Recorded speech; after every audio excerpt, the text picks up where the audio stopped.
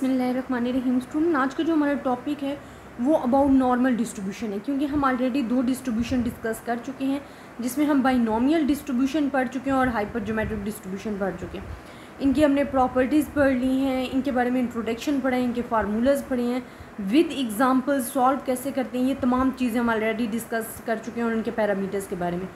अब जो normal distribution है हमारे पास स्टूडेंट सबसे पहले हम उसका डिस्कस करेंगे इंट्रोडक्शन इंट्रोडक्शन में मैं आपको बताऊँगी कि उसका फार्मूला क्या है, हम नॉर्मल डिस्ट्रीब्यूशन क्यों यूज़ करते हैं और इसमें क्या चीज़ रिक्वायर्ड होती है, इसके कितने पैरामीटर्स होते हैं और इस साथ में हम इसकी डिस्कवरी और इम्पॉर्टेंस ऑफ़ नॉर्मल डिस्ट्रीब्यूशन जो है, जो कि मोस्ट इंपॉर्टेंट है, इस लिहाज से वो तमाम चीज़ें हम डिस्कस करेंगे। स्टूडेंट नॉर्मल डिस्ट्रीब्यूशन अगर आप कहते हो तो नॉर्मल डिस्ट्रीब्यूशन के साथ वर्ड आ जाता है कि मदर ऑफ़ ऑल डिस्ट्रीब्यूशन कि ये नॉर्मल डिस्ट्रीब्यूशन जो है, वो मदर ऑफ़ ऑल डिस्ट्रीब्यूशन है। अब जो नॉर्मल डिस्ट्रीब्यूशन पढ़ते हो, आप जी टेस्ट में पढ़ रहे हो टी टेस्ट में पढ़ रहे हो नॉर्मल डिस्ट्रीब्यूशन लेकिन अगर वो नॉर्मेलिटी से डिपार्ट कर जाती है या दूरी कर जाती है तो उसको हम, उसमें स्क्यूनेस आ जाता है। तो स्क्यूनेस आ जाता है तो वो पॉजिटिव स्क्यूड हो सकते हैं या नेगेटिव स्क्यूड हो सकते हैं। इसी तरह जब आप एफ़ डिस्ट्रीब्यूशन पढ़ते हो तो पॉजिटिव स्क्यूड आ जाता है। अब स्टूडेंट ये तमाम चीज़ें हम डिस्कस करेंगे, लेकिन पहले हम पढ़ते हैं इंट्रोडक्शन कि इंट्रोडक्शन हमारे पास क्या है, कि क्यों बाइनोमियल डिस्ट्रीब्यूशन हमारे पास कहाँ पे यूज़ होती है, और अगर बाइनोमियल डिस्ट्रीब्यूशन यूज़ नहीं आ रही, और हमें ज़रूरत पड़ रही है नॉर्मल डिस्ट्रीब्यूशन की तो उसको हमने कहाँ पे यूज़ करते हैं? हम कहते हैं, in a binomial distribution when the number of trials is very large आपने क्योंकि बाइनोमियल डिस्ट्रीब्यूशन ऑलरेडी डिस्कस कर चुके हैं, उसमें नंबर ऑफ़ ट्रायल्स आपके पास क्या होते थे? बहुत ज़्यादा लार्ज हो जाते थे।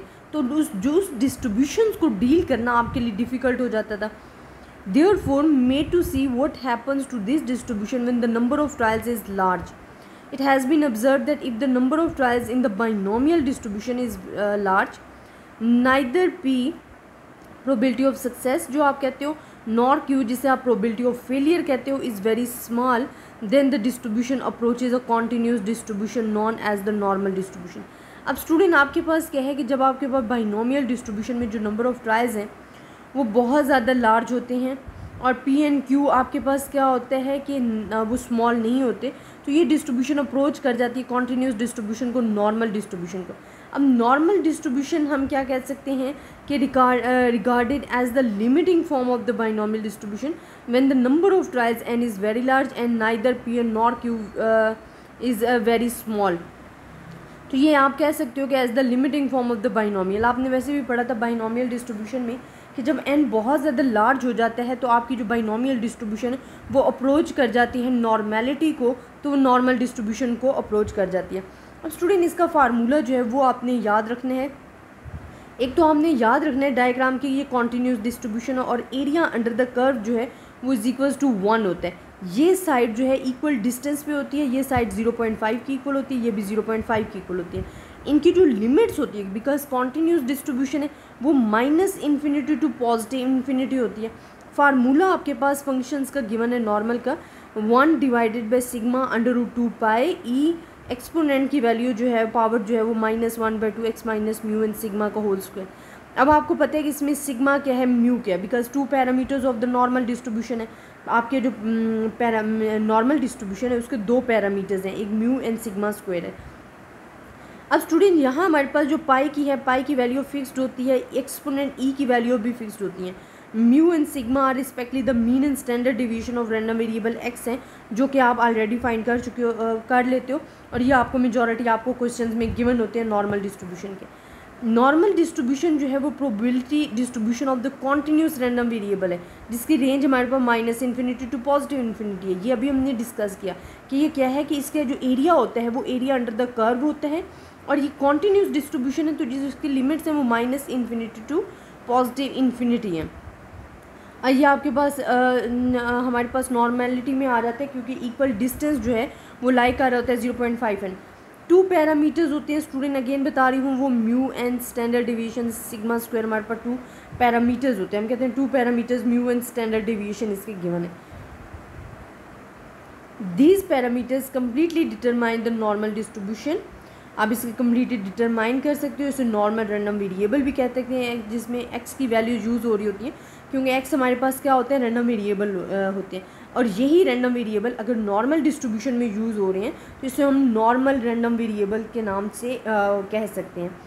आपके पास ये नोटेशंस हैं एन जो है वो शो कर रहे हैं नॉर्मल डिस्ट्रीब्यूशन को mu and sigma square both are the parameters of the normal distribution तो ये डिनोट कर रहे हैं कि अगर एन आपके पास आ जाते हैं तो वो नॉर्मल जिस तरह हम बी लिखते हो बाइनोमियल के लिए और हाइपर के लिए एच लिख रहे होते हो तो इसी तरह नॉर्मल डिस्ट्रीब्यूशन के लिए आप एन को डिफाइन कर रहे होते हो।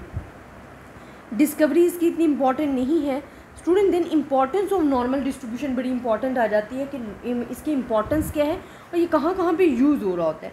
जो नॉर्मल डिस्ट्रीब्यूशन होता है, वो most important continuous probability distribution है, अभी आपने पढ़ा कि इसकी जो रेंज है, वो minus infinity to positive infinity है। And it has been found to provide a reasonable approximation in great many situation in a number of natural phenomena such as a height and weight of individual errors in measuring length of metal, rod with high accuracy IQ scores scores of aptitude test extra allow the normal distribution. ये तमाम वो example हैं जहाँ पे हम क्या use कर सकते हैं? नॉर्मल डिस्ट्रीब्यूशन यूज़ कर सकते हैं। तो नॉर्मल डिस्ट्रीब्यूशन जब आप यूज़ कर सकते हो यहाँ पे तो ये इसकी एक इम्पॉर्टेंस है कि हम इजीली यहाँ से ये चीज़ डिस्क्राइब कर सकते हैं। फिर हम कहते हैं at one time during the early stages of development of statistic it was felt that every real life data must conform to the bell shape normal curve. अच्छा ये जो shape of the normal distribution है ना student ये bell shape है। इसको हम कहते हैं ये बेल शेप है और हमारे पास जो बेल शेप होती है आ, उसका जो एरिया अंडर द कर्व है वो हमने बता दिया कि वन के इक्वल होता है। तो हम वैसे भी अभी भी इसको नॉन कहते हैं कि जो नॉर्मल डिस्ट्रीब्यूशन होती है उसकी जो शेप होती है वो बेल शेप होती है एंड वो आपके पास क्या होता है वो यू नॉर्मेलिटी की uh, हालत में होती है कि उसका जो एरियाज़ होते हैं equal distance from the central value आपके पास होता है कि zero point five and zero point five और ये कॉन्टीन्यूस डिस्ट्रीब्यूशन है तो आपके पास वही रेंजेस आ रही हैं और ये बेल शेप है बेल की शेप दे रही है। In in this context that the distribution became known as the normal distribution इसी वजह से हम इसे नॉर्मल डिस्ट्रीब्यूशन कह रहे होते थे।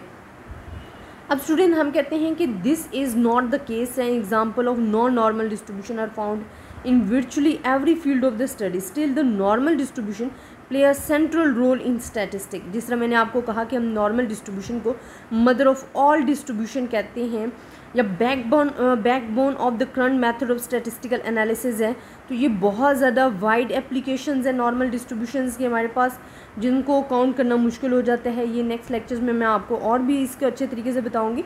कि इसकी एप्लीकेशंस क्या हैं और इसको back bound of the current method of statistical analysis क्यों कहा जाता है?